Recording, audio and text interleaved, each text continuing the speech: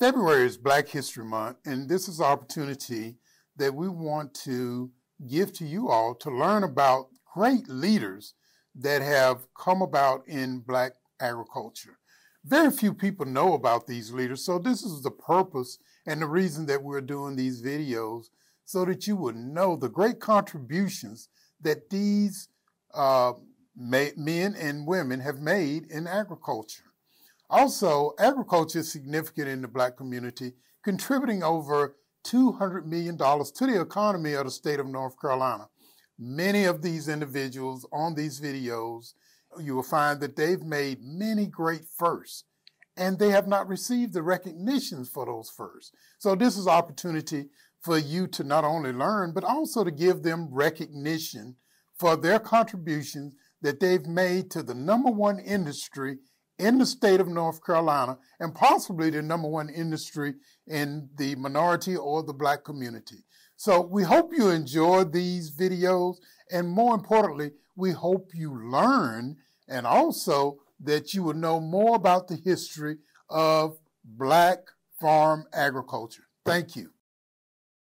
Around the table, I have Dr. Antoine Austin, Associate Dean at North Carolina A&T, Dr. James West, the first County Operations Director for the Cooperative Extension Service. It might have been called the Agriculture Extension Service, Dr. West back then. Johnny Jones, first county extension director in Lenoir and uh, Wake County, and Dr. Alton Thompson, who is former dean at North Carolina A&T State University. We're going to jump right in on all four feet. Dr. West, who were some of your mentors or some of the leaders in the early uh, segregated extension service? Archie, that's a very interesting question because I came in at a pivotal time. 1965 is when the decision was made to uh, sue uh, USDA along with University of Ireland at Chapel Hill. And those were kind of some turbulent times. And what I remember is I was one of the youngest members of that group. We call it Progressive Club. We had uh, S.N. Shelton, who was a major leader out of Orange County. As many of you know, Carl Hodges was the first black in extension services to be appointed as a county extension director I guess you could say that uh, P.E. Bazemore, the statistical leader of the group, uh, we were all on a team, we all worked together. And Elsie Cooper, P.T. McNeil, L.R. James, and we can't forget James Wright, Molly Briley mm-hmm. out, out, of Robeson County. Okay. I, think she, I think she was the first black to be elected as the head of the home economics program. I had had the opportunity to move up in the organization. I remember LC and and P. Bazemore said to me, said, you kind of lay low, said, you up there with the powerful white folks. And uh, I said, well, I don't mind taking that chance. But they insisted that goes shows the kind of people and their concern for others.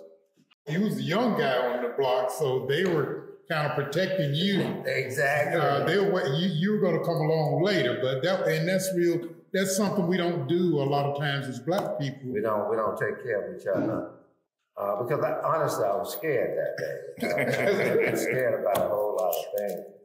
But um, I thought about it.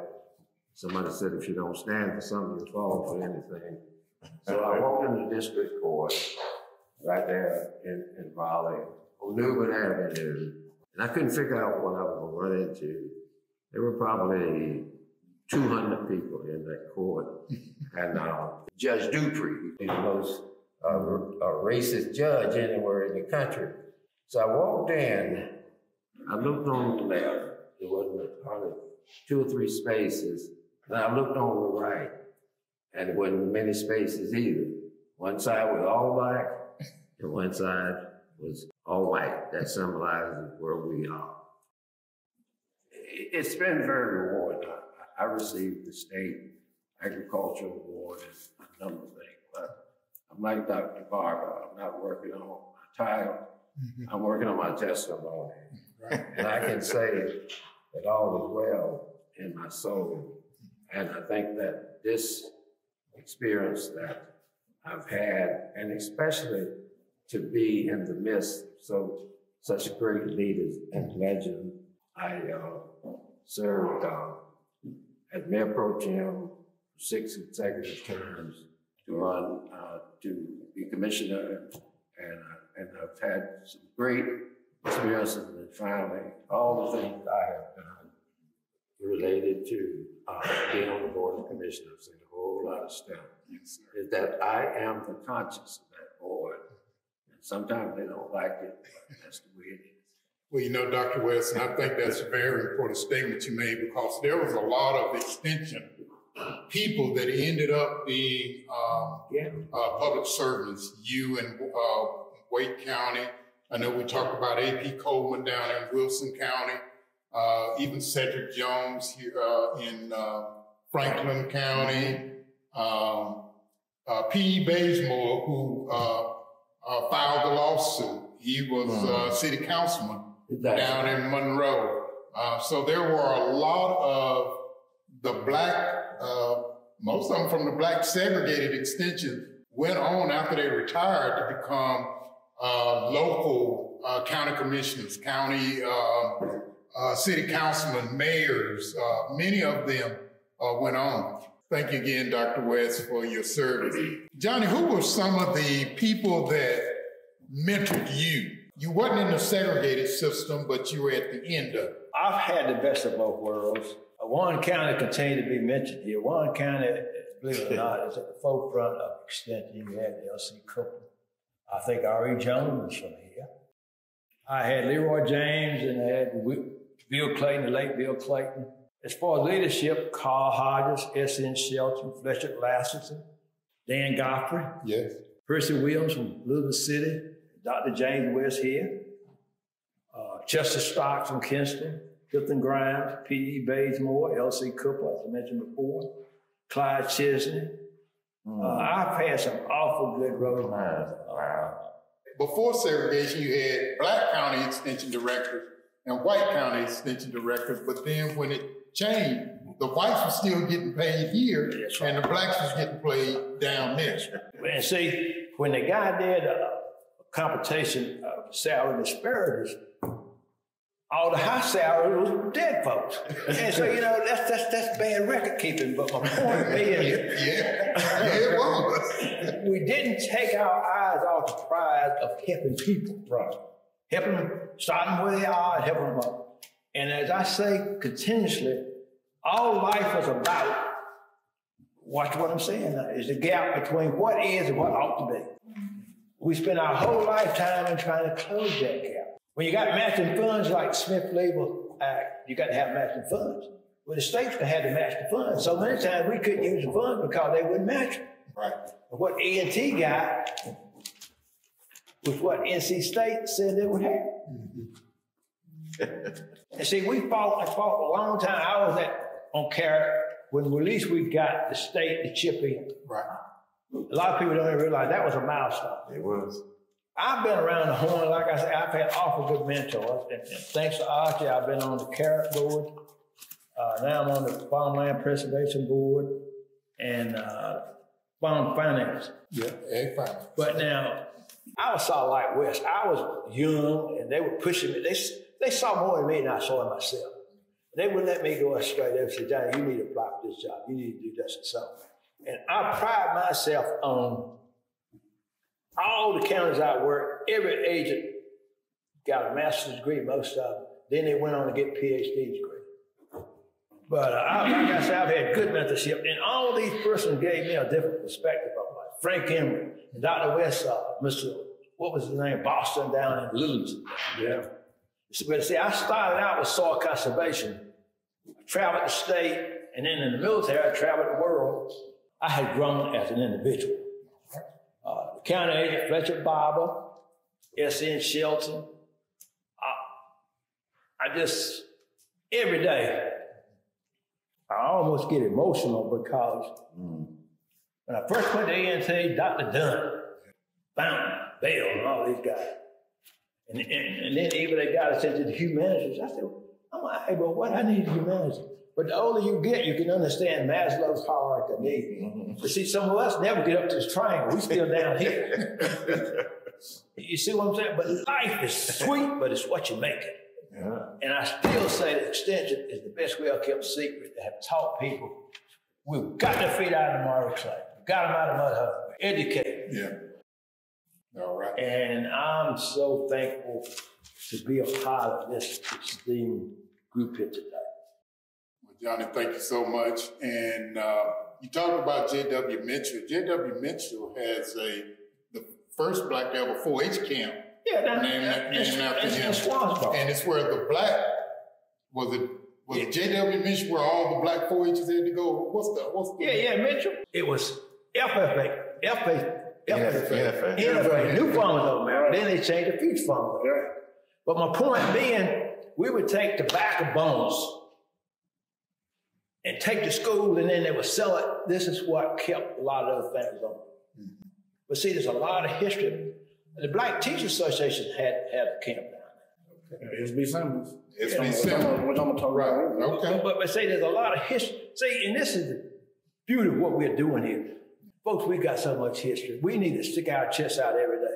But when I used to have my meeting with my farmers, they come dragging in. I said, look, I know you've been down so long that getting up there will cross your mind but now, if you're not here tonight to listen and get some pocketbook issues, you need to go back home and watch Monday Night Football. well, John, we thank you for that call. And J.W. Mitchell, I think one of the first uh, state agents, and he eventually was hired by USDA. His, his, his book is over. I got okay. the book over there. Well, we got the book. Dr. Thompson, give us a, a little bit of the disparities between funding between 1890s and 1862 as you saw it in your role as dean? I'm just sitting here uh, going down memory lane, reflective on the comments that uh, Dr. West said, uh, brought about a lot of memories, thinking about what Johnny Jones said, but a lot of memories, a lot of emotions too. And then looking across the table at Dr. Austin, who was my freshman work study student. Hey, how old I am and seasoned. As you know, North Carolina State University started at Shaw University as a room because uh, the white persons of the state said that we couldn't be on North Carolina State's campus. We want the money, we want the land grant money, but you're not going to be here. So they put, put us at Shaw. Then we saw the light and moved to Greensboro because some good African Americans at Greensboro gave us some land. The other thing is, 1890 land grant started without land, except for Alcorn. Mm-hmm. All the other 1890 started without land, so we were landless university for land grant. It started because in 1890, the 1862 university wanted more money. So Justin Morrill said, if we're going to give you more money, if you set up separate institutions for African Americans or let them come to your universities. And most of the southern and border states said, no, uh-uh. we're going to take the money, but you set up your separate universities. That's why A&T started from NC State, moved to Shaw in 1890. But NC State was getting the money because of the white 1862 needed more money. started 1890 more or less. So that's when start getting a little money, less than a couple thousand dollars per school. And then as Archer said, when the Hatch Act came in 1887, uh, 90 years later, that's when the 1862 started getting uh, research money, but research and food and agriculture research. So from 1887 to 1977, as Archer said, they had a 90 year head start. And how did we make it? We made it, as Johnny said, because the sweat and tears of blacks, the toil of blacks. We were, we were engaged in sustainable agriculture before it became popular. I grew up on a farm in eastern North Carolina, Beaufort County. I remember using the chicken manure and the mule manure to fertilize the field and crop rotation. We did all that. The thing is, so from 1890 to 1997, the, uh, we didn't get any research money.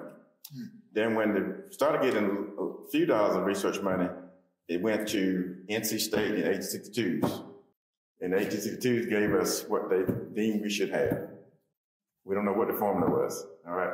So 1977 with the Evans-Allen Act, you know, uh, James Evans was a senator out of Alabama, and uh, no, James Allen was a senator out of Alabama, and Frank Evans was representative out of Colorado. So they established the Evans-Allen Research Program, which means then the money for the 1890 land grants started to come into the 1890 land grants. So the money from A&T started to come, start coming to A&T. And so over the years, uh, we've always been underfunded, historically over underfunded. Uh, part because of the Evans-Allen Research Act, we supposed at that time, now currently we're supposed to get 30% of the Hatch appropriations. And the 1890 extension going to get 20% of the Smith-Lever appropriation. Never happened for 1890 research until last year. We finally got the 20%. In the 2023 Farm Bill, we moving, trying to move it 20, 30% to 40%, and extension from 20% to 40% because of equity. Because over the thing, think it like you got a 90 year head start, and you don't get the state match. Right. All right, you don't get the state match. So think how far you're behind with low federal appropriation, no state match.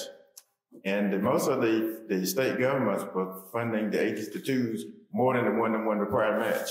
Right. So basically, they had a 90 year head start. Now we have a 100% match. And Dr. Austin there is on the, the leadership team at A&T. We got a 100% match now. So think about what you can do with double the money. But we still not, I'm, I'm gathered that NC State probably get four to five match. We still at one. We shouldn't get one to one.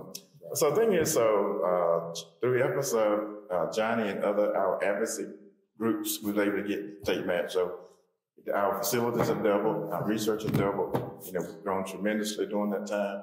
So the Evans-Allen uh, Act was uh, very important for research. At the same time, also 1890 Extension, uh, their money came directly to A&T.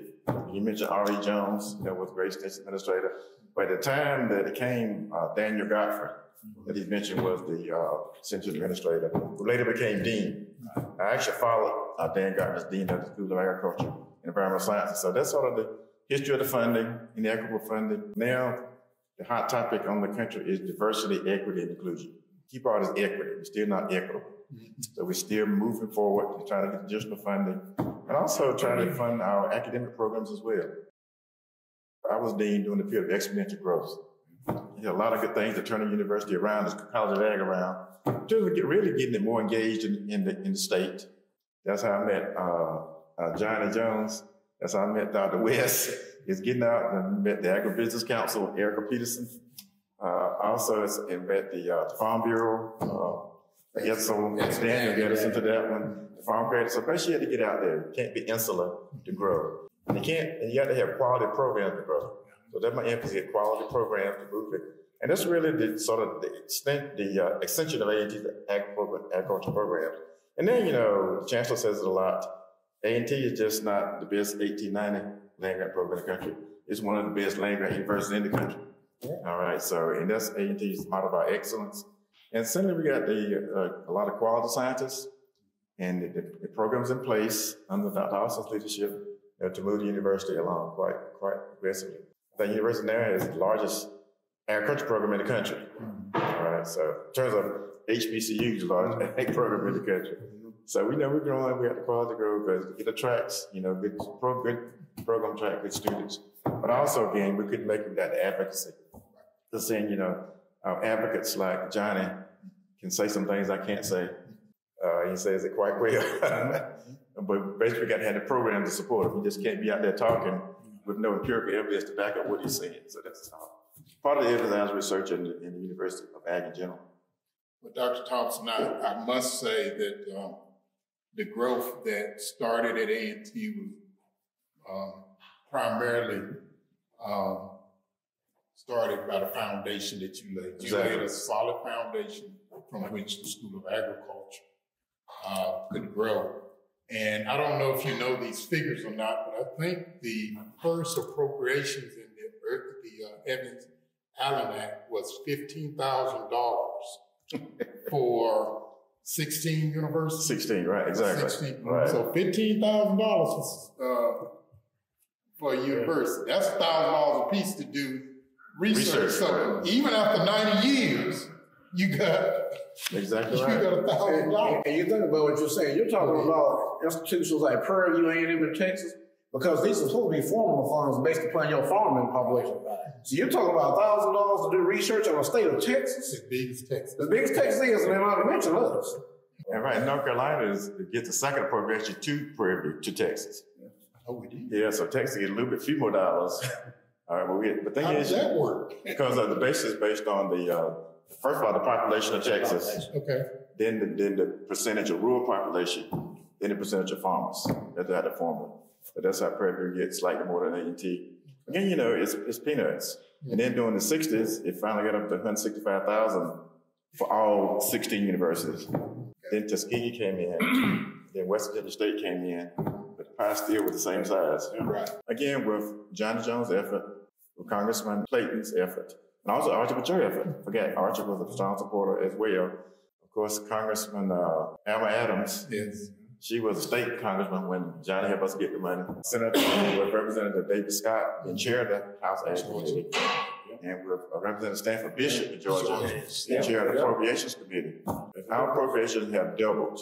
Well, well, 50% increase since they've been in their positions. Right. You came from fifteen thousand to eighty. 80 to 89 million. Eighty-nine million. In the FY twenty-four appropriation, we're gonna ask for hundred and eight million. All right, so we're gonna, which is a twenty percent, twenty-one percent increase. Correct me if I'm wrong, I think Representative Fouché. He's on the ag is committee. on. So we got two new Mhm. black members. uh, Yeah. Recently elected. Right. That's gonna be on the ag committee, that's gonna help us out. And also Alma Adams still is on the ag Is on- committee. She's probably the, uh, uh, senior. Right, and the Rep- and Representative David Scott is the ranking member of the ag committee. Okay. So politically, we're okay, just need to But, but, pushing. but they have to do the homework. Right, They can't go up there and just showboat. Right. They got to know what they're talking about, and they got to keep one foot back in the state, so they'll know what they're talking about. There's an old saying, Johnny, say what you know, know what you say, but don't say all you know. Yeah, but see, but see, see, see, Phil, even, even, even with some of our funds, you guys send these applications out, they want to know all your business. I used to tell them, don't tell these people all your business. Right. If you, if you only get so much money, some crops you grow on another field, go rent a right, place. right. You can't tell these people all your business. Right. Dr. Austin. Yes, sir. in our community of the VOAG teacher, in the black community, the, the importance of the VOAG teacher, we know these guys have kind of covered what's the importance of that ag extension agent. Yes. But there was another leader because most black folks was in rural areas. Yes. And the leadership basically was that ag extension agent Yes. and that vocational agriculture teacher. Black agricultural history, black history, particularly black agricultural history, is really is just a passion of mine. My father was my high school agricultural teacher at Northern Nash High School in Rocky Mount and was a NFA member himself and a state uh, officer. The VOAG teacher, as they would call, was really just like it was like the preacher was in the black community. But the new farmers of America really came out of the National Vocational Education Act. When it was established, there were six black departments of what they call Negro vocational agriculture in the state of North Carolina in 1917. And this grew over time. Particularly during World War II, they provided what they call a rural war production training program where they were training farmers in the more efficient use and efficient farming practices and canning on uh, really produce fa- uh, food on the for the European theater of operation. And so the VOAG teacher was really instrumental in that. But after World War II, the VOAG teacher also provided what they call veteran farmers training program, which really is the forerunner of what you now call your community college system because the ag teacher provided evening classes and day evening classes, if you will. But the New Farmers of America here in North Carolina, at its height, had 100 chapters and over 8,000 members. And the national organization, when it had its height until 1965, had over 1,000 chapters and 58,000 members. Can you think about this? 58,000 black farmers. Hmm. It was because of the NFA that a lot of black youth went to college. I remember my dad was saying how his ag teacher dad grew up walking behind a mule. Right. And they were saying in the fall or on the spring of 62, he asked my dad, so what do you plan on doing when you graduate? He said, I guess I'm gonna be sitting behind the same mule you see me now behind. He says, no, you're going to Greensboro to A&T, going, he's Ohio. Because they were sharecroppers. He said, oh, we'll get you there. And so the black ag teacher was the one that took him there. These are basically our ag education individuals. And as you know, within the land grant institution, you have research, education, and extension. And most of the people that were on the previous video operated in that venue as relate to the land grant uh, institution. Now, we're, our next group of individuals are professional agriculture that have worked through USDA in many of the great areas that the farmers would visit when they would go to the local office, whether it was FSA, and at that time it was probably called the uh, uh, ASCS, or Farmers Home Administration at that time, or what it is called today, is Rural Development, and NRCS, which was probably called Soil and Water. And at the table will be a great many of these people that have transitioned from those older names and into what they're named today.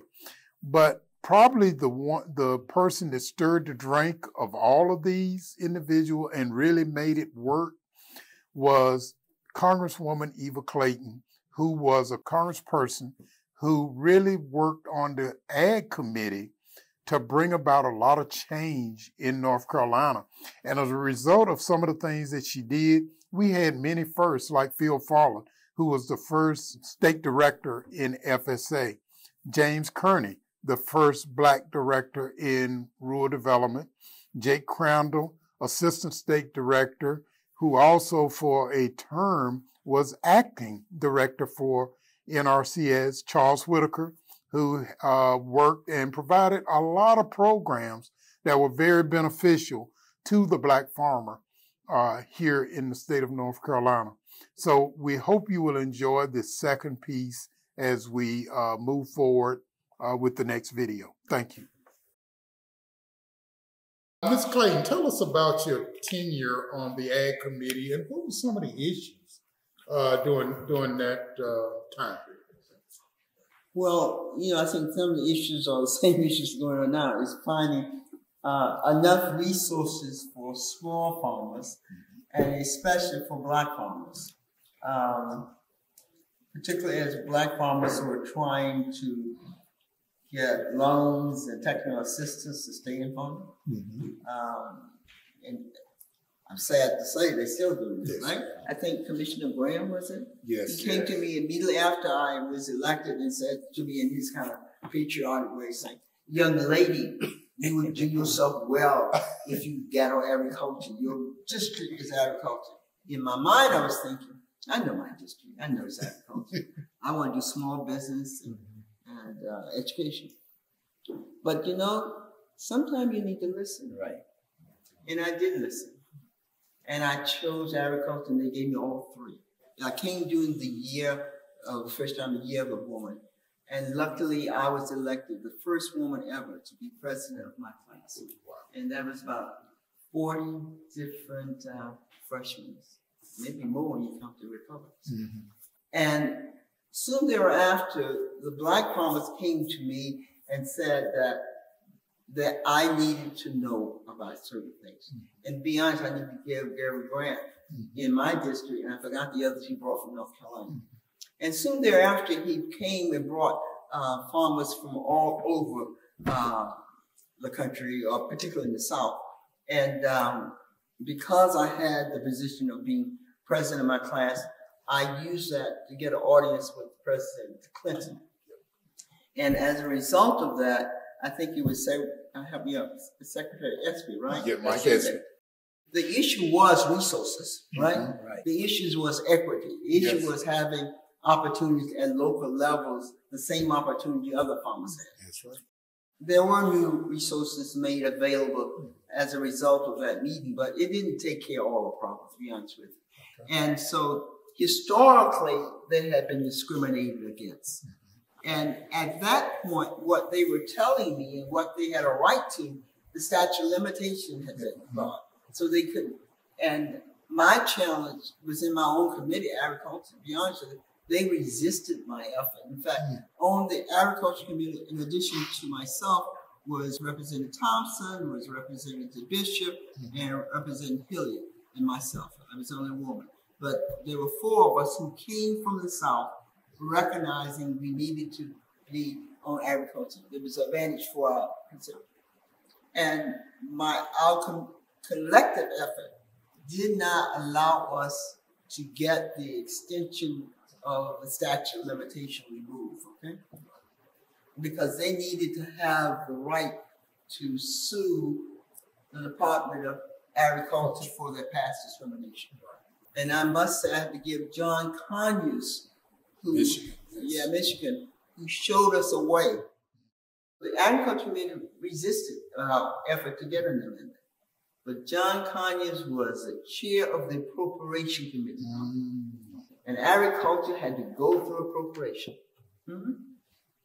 And he led the effort or instructed me how to do it. He said, you know, when agriculture come up, you offered an amendment mm, on the floor. And I asked Mr. Speaker, may I have the opportunity to, uh, to give an amendment? It became immediately clear to agriculture that that was going to happen. You know what? That guidance gave me the opportunity to make new friends on agriculture committee. That's how the extension to the, uh, the extension of the, the right to sue was given to these farmers. And you know the rest is history. The Pigford case came Yep. up, and it's still going on beyond this Pigford Yes. two. And as a result, the first time that all the black farmers in the United States could sue for that. I probably am known to as someone who supported small farmers. Mm-hmm. White farmers knew they could come to me too. Indian farmers knew they could come to me too. Right. Women farmers knew they could come to me. Obviously, I'm given credit for, and there's a, a national magazine called National Journal. I'm giving credit for the Farm Bill supporting black farmers, poor people, and women farmers. Okay. And also during my tenure on Agriculture Committee, we wanted to raise the issue of rural people, period. I became the co-chair of the bipartisan caucus for rural, one Republican, one Democrat.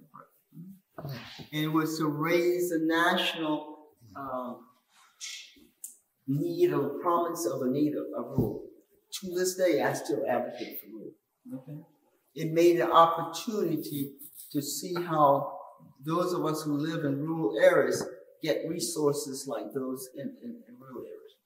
I learned from, I learned agriculture for farmers coming to talk to me. I learned about the needs of people like uh, Jim Kearney and Fallon telling me things. You have to have a, I tell people, you have to have an open mind to grow, right? And I think I grew into agriculture. And as a result, when I decided to leave Congress, I was invited and given the opportunity to become the assistant director of FAO. There, I, I, I learned more. What I learned there was really how food insecurity affect the whole livelihood of countries around the country. And we tried to put groups together to fight hunger. But you also, to fight hunger, you have to fight poverty. To fight poverty, you have to fight the whole equity issue, economic issue. So the farmers in North Carolina, and many times, Phil, we went up to uh, USDA and we met with you and brought farmers. But all of those farmers considered you as their congressperson, as their representative, man. And that's because of the respect they had for you and the sincere work that you did uh, for them. The other thing is, uh, I did not know that story you just told. And I think a lot of people don't know that story. Uh, the black farmers uh, went to Michigan actually, and we met with John Conyers. I didn't know where that came from. I now know why we went to Michigan, and all of the black farmers met uh, with John Conyers. food very helpful. Now she talked about rural. Uh, Mr. Uh, Kearney, tell us a little bit about rural development and during your tenure. What were some of the issues with uh, rural development, and how did you end up getting in rural development? Because you were with Farmers Home Administration. Well, from Farmers Home Administration to Rural Development Mission Area um, came about when President Clinton appointed former Congressman uh, Mike Espy as Secretary of Agriculture. Was he the first black Secretary of First Agriculture? Secretary And only. and only so far. he had the vision of restructuring, reorganizing the Department of Agriculture. Well, he wanted to bring all of the farm-related programs together under one umbrella. Okay. And then to leave the rural development type programs under the, separate one. So that brought about some consternation on my part, being a brand new state director at that time. I think I had some 420 or 425 personnel across the 100 counties that we serve. And there were probably some 75 or 80 local offices that they were from. Uh, the mandate was that I was to get down to 260 from 420. What's it, 100 and Somebody some gonna be 60 mad. some, some people. Now, 70 to 75 of those were going to be farmer program personnel. But that still left me some 90 to 95 people that had to exit, that we had to go through the rink process. It wasn't just a downsizing, it wasn't by attrition, it wasn't by retirement and all that. Uh, we had to, had to administer a RIF. Okay. After all the dust settled with that, we wound up with programs like uh, community facilities that deals with, see this rescue squad here. That was one of the things that we could, I don't know that we may have funded that, that particular one there. But uh, we had community facilities was dealing with this, a building like this, community building, rescue squad, fire departments, uh, hospitals, uh, schools. Warren County School was one of my first projects. We also had business programs. And with the business program, we could reach a little bit larger community size, we were fifty thousand population. And we had a housing program, both single family and multifamily housing. There's a num, in my community, I bet you I can count five, uh, multifamily complexes that came about under my tenure while I was there as a, as, as a district director before I got director. So those are the kinds of programs that was remaining with rural development during this period of time. There are two great um, lawsuits that came out of North Carolina. The Bazemore lawsuit, which helped black professionals and uh, helped us uh, move up. Um, and the other biggest lawsuit was the Pigford lawsuit. Both of those lawsuits came out of North Carolina and uh, has really affected agriculture professionals and the Pigford affected agricultural farmers. So we have really, it wasn't the Midwest view, it, it was North Carolina that's have really, Ms. Clayton, affected North Carolina with these class action lawsuits. Uh, and yes, and of course, when uh, Tim filed that suit, of course, you know, he went to Congress, explained what was going on, and came back home, and they wouldn't give him any loans or anything like that. So that impacted him Keep them out of his because uh, he couldn't farm, and his wife became sick and had a student at A&T. He became sick. So discrimination is always costly, Yeah. and of course, it impact that. But the thing we had to deal with is how we're going to implement programs and put them out there, knowing that in black farmers' mind that we really discriminated against them. So that's one of the things that I had to face, and also my predecessor, Sam uh, Sam Kohler, the late Sam Kohler, it put in place checks and balances so that if a farmer came in to uh, apply for a loan, then it gave him certain things that had to pass. We had to do things timely because of being time, and Washington knew about that. But it also made the farmer more responsible because if he didn't bring in form, then he will also be kicked out. So it changed a lot of things. You know about receipt for service. When a farmer came in, then he could document exactly what took place and took that with him and read it before he went out. So there were some things we had to deal with. Another thing that I had to deal with is also is outreach. Uh, I noticed that a lot of minority farmers were not getting these programs. So how was I going to do outreach differently? I had been doing outreach and I thought I was doing a good job. Got an award for that. Until I look around, Johnny, I didn't see people who really need to be served. So I said, well, how am I going to handle this thing? Then I met this guy. I had the program, he had the people. So we collaborated and went across this state, training people on different programs. And and that changed a lot of things as far as what happened in the agency because folks know how we taught them how to come into the office and talk the, program stuff. Because a lot of time our folks would go in, they didn't know what to ask for. We had to teach them that. We had to teach them about NRCS program, J, uh, you, and I had to teach them about rural development program. We went to Washington, D.C. and told them how to talk to politicians, what to ask for. Go there, one pocket had a problem, the second problem, thing to go there with solutions. And don't take this wrong, Ms. Clayton, what I'm gonna say. Because I always said a politician, there's no intelligence test for a politician. So, don't mean that a bad way. So you have to take the problem and also take the solution with it to kind of inform that. And this is for all of them as we understood. Well, I think you have to assume that we don't know. Okay. And the politicians may not assume they don't know. Right. Um, but lucky for me, I did. Right. And I want to thank you and many people around here. You help educate. And because you did come with complaints or struggles or whatever, you also came with how you thought mm-hmm. things could be changed, right? Right.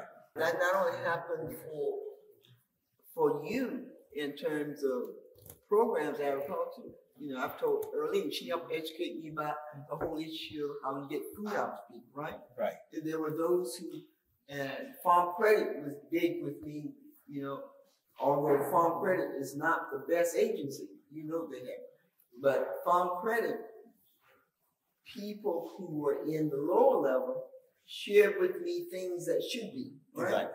That's how I was able to get more credit and loans out there because I didn't know. Exactly. And, and, and people who were involved in at some level of administration of these programs helped me to see how we could uh, take some of these barriers out and make it more uh, accessible to people. So I thank you for thinking that we didn't know. Now, intellectual, I'm superior. That's what yeah. But you're right. I didn't know about this program. Thank you for bringing those solutions as well as a problem to it. Exactly. Well, diversity. Well, watch getting back that when I came into the agency, we had approximately 1,500 employees back in 1971. 99.5% of those folks were white people. 99.5% of the management are white males. 99% of the staff are white women. So that's what the makeup. And you asked the other groups, who were your peers who influenced you? I didn't have anybody, but I was it. I only had one person named Belton Everson. He was a program guy, and he and he uh, helped me with a lot of things. But I came in the first affirmative action class where four blacks, four Native American, four whites. And that's when we started changing what the agency looked like. Now, what I tried to do is I tried to put black people in positions of authority that they could hire, fire, and make decisions. And you know some of these folks. Pat Mabry, she was the first district director, black lady. Carl Bond was the first uh, uh, uh, farm loan manager. Uh, brought in the first Native American to be county executive director. Brought in the first person to be a woman at administrative position in, in our office. Hired a lot of CEDs. I, I did those things whenever I was there. Looking back, I didn't know it, Jim, that I made an impact, but I think I made some impact on really what was going on. Another thing, state committee, I got to mention these folks. Some folks talk against the state committee. The state committee I had, they put CEDs all over the state. Pamela Sharp, Tom Gilmore, John Atkins. They came through her. She made, she put these people in position. And most of them, a lot of them white. But they knew what she wanted and they knew what we wanted. And they changed history. So I'm going to start right there, Archibald. I'm going to start preaching in a minute. Now, you, uh, and before we go to Jim, before you left out, you brought in a lot of young people. Yes. Tell us a little bit about that and why you did it. Well, I knew what happened to me, what I saw. So I felt like I had to plant some seeds because I knew I would be leaving sometime. So I decided we bring in these young folks and we train them. Young black folks. Young black folks. So when these positions come into being, that they will be ready. And now I'm seeing the results of those seeds. You got a lady named Tracy Jones. She's now the administrative chief uh, in the state office for the whole state of North Carolina. She came through me. She was in the, Johnny, she was in the stock room. I brought her out to start room, very intelligent. And I was talking to her some 10 years ago, and I asked her, I said, what do you want to be 10 years from now? She said, I want to be the administrative chief. She was appointed administrative chief two years ago. A guy named James Davis, he is in there now. He's head of the division. So he's heading up the division in the state office. Right. Carrying the biggest load in the state office, Mr. Clayton. Knowing a lot of things. I hope, I have great hope for him mm-hmm. for the future. And I hope he can do that. We brought people in, young people now who headed up other departments, county executive records and things like that. I planted those seeds because I want to see them sprout. And, there, and there's no better joy than see these people coming in and take over. And that's one of the things, like you said, when we're, as black people, are put in position. One thing that Carl Hodges and a bunch of Bazemore told me, leave it better than you found it. Right. And if you have an opportunity to bring our folks along, don't run away from it because a lot of folks run away from being black. Exactly. I um, can sort of say that we increased our percentage of black employees through the RIF. Okay. Now they're saying that's that's kind of a hard way to do it. But Make you sure- got ninety or ninety-five people to get rid of. Okay, And make I- sure you at that understand what time- RIF means. Reduction in force, reduction in force, I'm sorry. Mhm. That's, uh, it's not a word that you want to learn a whole lot about. We had to reduce by some ninety employees. At the time that I got there, they said four hundred and twenty, only about thirty-five of them were black employees. Okay. I had to make sure that uh, those black employees understood the rules of RIF. Okay. And I was able to, during that, educating them about the RIF, uh, guide them to be in the right place. Right. Because if you set up an area and that's going to be for a RIF, then the senior people is the one that's going to get to stay. The one that came in later are going to be the one to go. Okay. And sometimes we weren't in the right place. But But bless God, we were able to save everyone except one temporary employee, a lady that worked in our administrative management, and she was able to immediately get another job better than what she had with us. All right. So that percentage went from eight percent to thirteen and a half percent just through the management of that rate. I, I count that as a, an accomplishment by being able to do that and not lose a single one out of ninety. That was tough with the RIF. That, That was, was real tough. tough. And you ask about mentors, and tough I- within the law of the RIF. say, Tougher within the, in the law, within the of law, RIF. absolutely, you got to stay within the law Right, You can't violate the law in order to in save order to do that. That's right. All right. Mr. Crown, Yes. tell me a little bit about the uh, NRC, the- some of the history of the NRCS program, you and uh, Mr. Crown. Who were some of the uh, predecessors uh, or mentors, some of the historical programs? And I think one of the problems with NRCS uh, particularly has been outreach. Uh, a lot of black farmers feel, and James, Ms. Clayton, they were not participating in these programs. And I know in the last farm bill, it says that only 3% in North Carolina had received program. And that's one of the reasons you're working with me because we were trying to up those numbers. So give, give a, you and Charles, give us an uh, inside perspective. I know we had Johnny, he was with NRCS, but y'all ran him out. But, uh, uh, but give us some perspective on uh, NRCS and how it related to our history in black agriculture. See, when it first started, we called it the Soil Conservation Service. Mhm. You remember, uh, it was known for there were green trucks, and uh, SCS then was known for building ponds, terraces, grass waterways. or work with farmers that way. Mm-hmm. But then it changed the name to NRC. It's called the Natural Resource Conservation Now, let me ask you, I don't mean this, who was the main person at A and T that kind of made the connection between uh, soil and water and A and T? If I had to give an award, I would give it to Dr. Dunn. Dr. Dunn always have NRCS, FSA would come, ASCS would come sometime. He would always have those agencies come to A&T and recruit. And I remember the way I got started with SCS at that time, that they would come, they had what we call a student trainee program. And they, I got into that student trainee program as a sophomore. And a lot of the soil scientists like Johnny they hired would not have a lot of input with farmers and the public. They didn't hire any black people to work with farmers. Hmm. So Julius Russell was the first one. Then Charles Whitaker was the second person that they put in charge to be responsible for a county, and I followed him.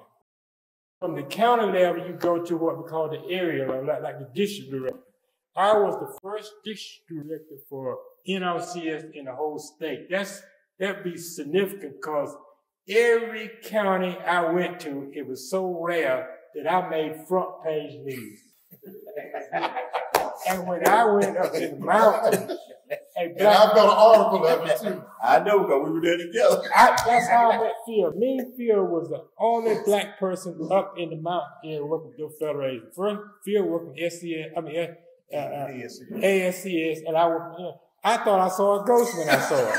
Because I've never seen a black person like that. each other. We read it, Right, we did. Because when they put me up there, I was in charge of 30 counties. I made the front page news of all those newspapers. And when I turned the radio on that morning, I was the lead story. And, uh, you know, that was kind of shocking. I think I got on TV. It, it was so rare to have a person up there uh, working. And that was sort of the history of NRCS because because there was no, you know, very few black people up there, it was hard to get black people up there. So I started hiring few black people to come up to the mountain, and you, had to, you had to sort of have a bond with because it, it was a, it was a.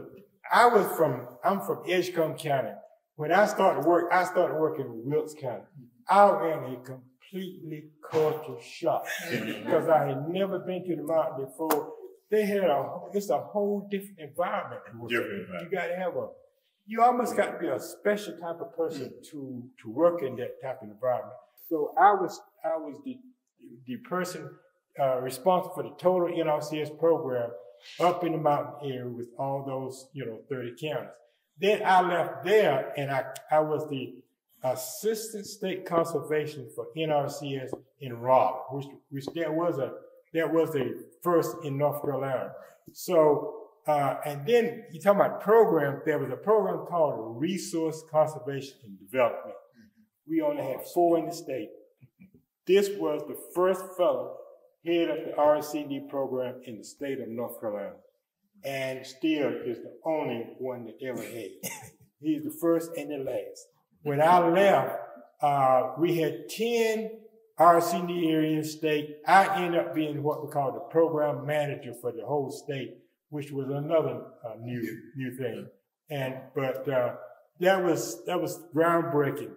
But when I started, there was no cost share program. That's what a lot of black farmers miss out on is cost share program from NRCS. Cost NRCS got a really good cost share program. Can you explain that to us? Cost share program, anything that you want to do on your farm, it, NRCS will pay cost share. Say you want to build a pond, say your pond is going to cost, say, a hundred thousand dollars. NRCS will pay ninety thousand for it. Any, all those crops you see growing, conservation tillage, cover crop, NRCS used to be big in strip cropping. All those types of, uh, of programs that NRCS got, black farmers didn't participate in at all. And I like to commend Archie for having the vision of, of hiring me to help those black farmers to participate in those programs there. Cause that's, cause I visited a lot of black farmers and a lot of them never participate in those programs. Even even FSA loans. They never they don't know anything about these programs. So I work with them to try to get them cost share uh, for these programs. And a lot of people confuse NRCS program with soil and water, uh, water That's where the problem in. Soil and Water Conservation District is a state program.